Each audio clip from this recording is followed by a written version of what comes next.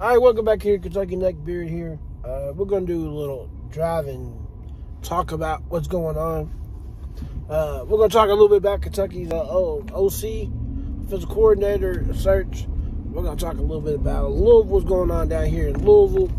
Uh, you know, uh, we're even going to talk a little bit about the Kentucky Iowa Bowl matchup, which is a rematch from last year's uh, Citrus Bowl. And let's go and get started. Uh, first off, I'm just gonna start with Louisville because I hate Louisville. Uh, know, was it Monday morning? I guess it was. Um, it kind of started circling around. And Scott Satterfield's name was in Cincinnati's uh, head coaching jobs uh, list, uh, and he was expected to take it.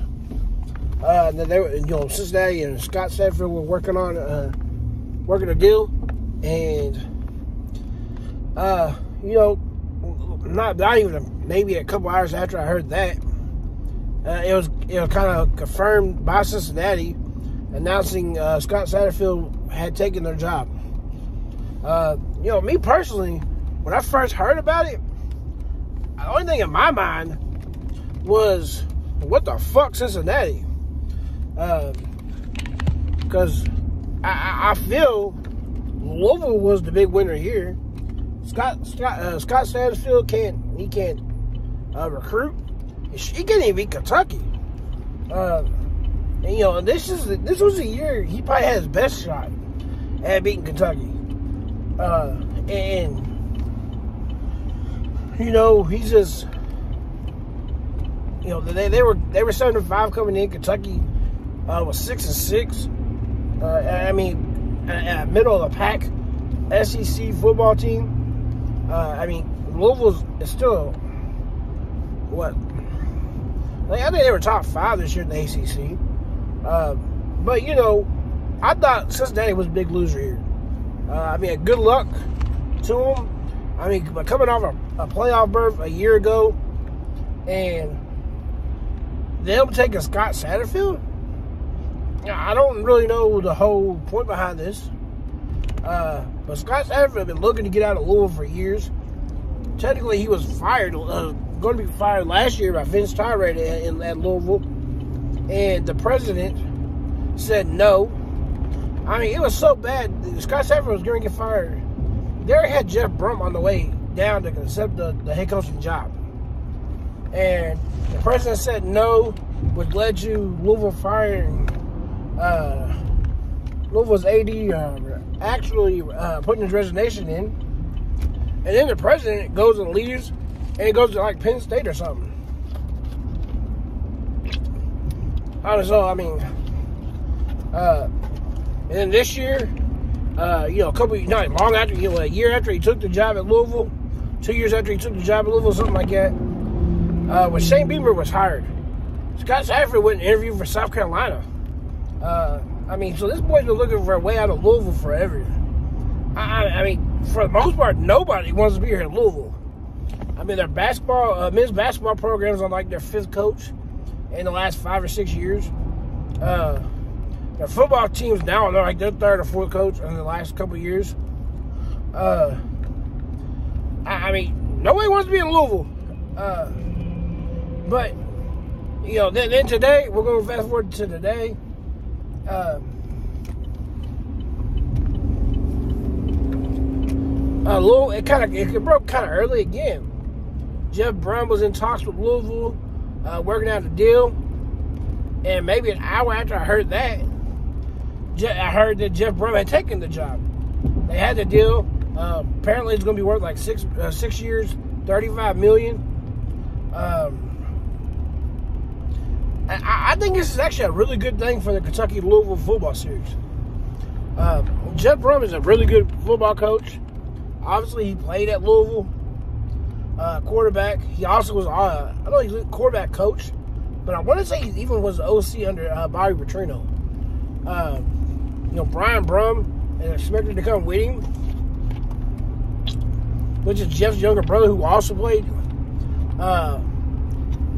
Football University of Louisville. But I, I actually know him because he played football against my high school. Uh, Brian Brohm did. Uh, Brian Brohm went to Trinity High School here in Louisville. Uh, and so, I, I, mean, but I mean, congratulations to Louisville, man. This is a big hire for them. Um, I think it's actually going to work out for them this time. Uh, I think it, I think it's actually an excellent hire. Uh, it's going to make the like I said I was saying UK UVL series better. I don't see the blowouts happening anymore. I think the gap between Kentucky and Louisville is going to close. I think Louisville's going to start getting more in-state recruits. Yeah, it's a bad thing for Kentucky. Um, but you also got to remember, Kentucky and Louisville probably only going to play two more years because uh, SEC is expanding, and Oklahoma and Texas are going to join the conference, and, and uh, we're going to nine conference games, and and from, from everything I've heard, the Louisville Kentucky football series is in trouble is in jeopardy uh, with this happening. Um, but I, I, I mean, congrats to Louisville. But uh, move, it'll, it'll go. We're going to move on from this. Uh, you know, Kentucky. It's been kind of rumored for like the probably last three or four days that uh, Liam Coen is our guy. The only thing holding it up apparently is can Liam Coen get out of his Rams contract because he's the offensive coordinator there. Um, I mean, I would love to see Liam Coen come back to home um, at Kentucky. I, He had one good year here before he went back to the Rams and became offensive coordinator. Uh, I mean, can't blame him for leaving. Uh, I'm not mistaken, I even said I would welcome him back. Uh, you know, welcome him back with open arms if he ever wanted to come back. Um, and, and, I mean, so that's our kind of a go-to. That's our number one prospect right now, the OC job. But apparently, from what I've heard, is today. If it don't happen today, it probably isn't going to happen. Um, I don't know how true that is. I think Kentucky should wait on uh, announcing Liam Coen. Maybe we can make a deal uh, where you know because apparently one thing's holding up is because he's the offensive coordinator, he can't just leave in season at the Rams. Uh, he has to wait till the season ends. Uh, so me personally, why don't we just go ahead and hire him? Say we got our guy, but just don't make the announcement. Or don't even say we got the guy. I mean, you're just telling recruits. That's the main reason we need this offensive coordinator. It's for recruiting purposes. Um, I'm just gonna tell you because I'm driving. I, am not gonna remember all these names either. Uh, but since I last talked to you guys, Kavosiey Smoke has entered the transfer portal. Uh, Keaton Upshaw has entered the transfer portal. Uh, Mike Drennan, uh, like our fourth string running back, entered the transfer portal. Uh, Rahsaan Lewis, Ray Lewis' son, entered the transfer portal.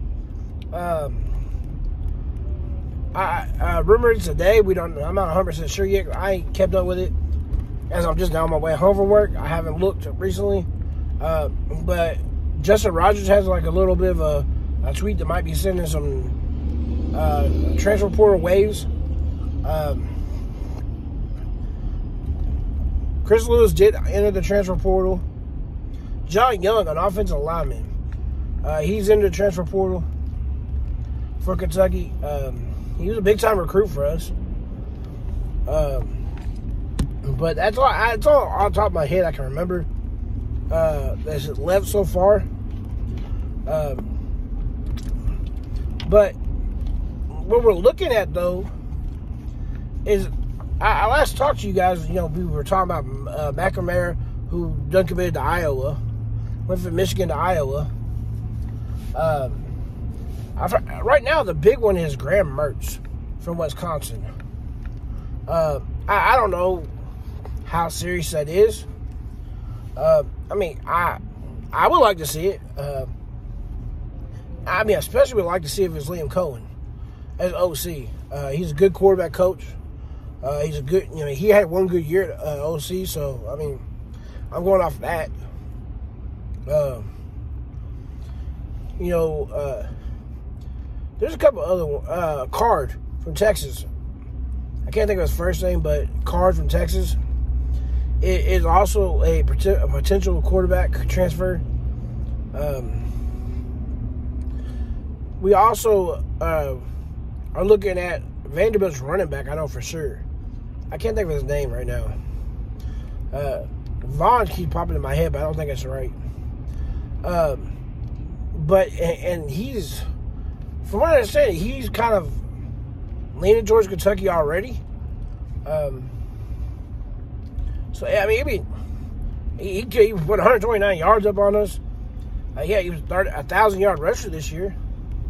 Uh, so I mean, yeah, it'd be nice to have that, that running back. Um, we're also looking at looking at a couple of uh, old linemen. Uh, one from uh, Northern Illinois, I know for sure. Uh, we're, we're, uh, we were we were offered a uh, offensive lineman from uh, Alabama. One of their transfers. He's originally from Bowling Green. Uh, I also know looking at Alabama. I can't think of his name. I can't. I don't know. Maybe not even pronounce it. I know it starts with a K. First name starts with a K. Uh, but also a corner from uh, Alabama.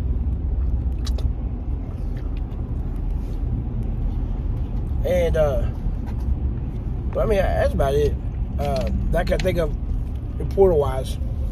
You know, going out and coming in, uh, kind of the big names right now. Um, if I remember, I'll try to put. The, I'll try to find the names for y'all. Uh, Travis fucking terrible. I actually left work a little earlier. Uh, but onto the bowl game. Uh, it's Kentucky versus Iowa in the Music City Bowl. Uh, I would like to go down to the game, but ah, tickets are kind of pricey. Uh, I'm not one of the fans that are, you know, uh, wanting to stay home because I want to watch the basketball game too. Uh, I'm not worried about that. Kentucky versus Louisville, uh, same time, but uh, basketball game. But I mean, who cares? Uh, right now, Louisville's 0 8. They might have one or two wins when they come in. Uh, but I mean, Louisville looks like complete shit. Uh, I, I, mean, I like, I like the Kentucky basketball team, the players. My, I, I have. Well, my problem is I hate Cal. So I mean, that's just my thing. I mean, I still watch the games. I still pull for Kentucky. I mean, I still bleed blue. I just I I don't I don't think Cal should be their coach. Um, but I might get on a basketball tangent. Um, it did kind of come out. We don't know who's going to be the quarterback yet. Um, from everything I'm understanding, it's like very unlikely uh, Will Levis plays in the bowl game. Um, and, it's probably going to be Kaiya Sheron, who's or, or Kaiya, Sheron, I think is actually how to pronounce, uh, who's going to play for us, start the game at least. Um, I know everybody's talking about. We hope the guy. We you know hope hopefully we can see. Uh, I get them mixed up. One's Destin Wade and um, I can't think of those dudes. I can't think of his brother's name, but uh, I hope to see. I, everybody kind of hope to see the Wade quarterback play. Um, the linebacker's already playing. Uh, he plays some. He plays a small role, and he's played some big plays this year. Uh, some big downs, anyways. Uh, but I mean, also maybe Deuce Hogan. Um, but offensive coordinator wise, Stoops pretty much said that it's going to be uh, a, a, group effort. Who's going to be uh, doing the offense?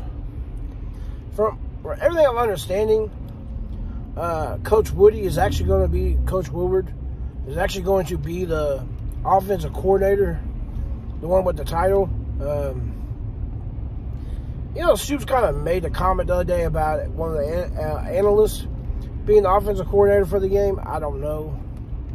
Uh, it's kind of going all over the place. Um, Of course, Iowa, their their number one quarterback's out for the year. Their first string quarterback, and their second string quarterback's already in the transfer portal. So they're going to be playing with their third string quarterback. Um, of course, they got a, they got one of the top defenses in the nation. Uh, once again, and, and it just I, I don't uh, you know I think the over under I think I heard is thirty one points. Um, a lot of people are saying it's going to be a very low scoring game, kind of boring. Um, it's possible because Kentucky's got a for most of the year, Kentucky was ranked top 15 in defense. Uh, the offense just didn't do nothing. Uh, so this could be a defensive game. Uh, I, I, just, me personally, I'm kind of feeling a, a, a, like a 20 in a game in the 20s. Uh, so like the over under part, I would take the over. You know, I don't, know. I'm not 100 percent sure. You know, I was going to score. You know, I would probably not to score either though. Uh, I, I, I, do think Kentucky's going to get in the 20s in this game. Uh, I mean, I'm not getting my prediction yet. I'm going to wait till later on when everything's kind of announced who's playing, who's not. Uh, I kind of have a feeling Chris, Rod, uh, Chris C. Rod, Chris Rodriguez is going to play in this game. Um, he needs like 240 yards to get the the record, and uh, I, I, I, so I, I kind of think he's going to play. Fucking traffic. God damn. Uh, so, but that's kind of where I'm at right now. Uh, kind of all the updates. Um, so, I mean, anyways, guys, I'm gonna get off here and concentrate on this flipping traffic. Uh, you know, if you haven't already done so, hit the subscribe button, hit the like button, hit the thumbs up button, give me a like share with your friends, your buddies, uh, and, and, and as always, leave a comment down the bottom. Peace. Go Cats.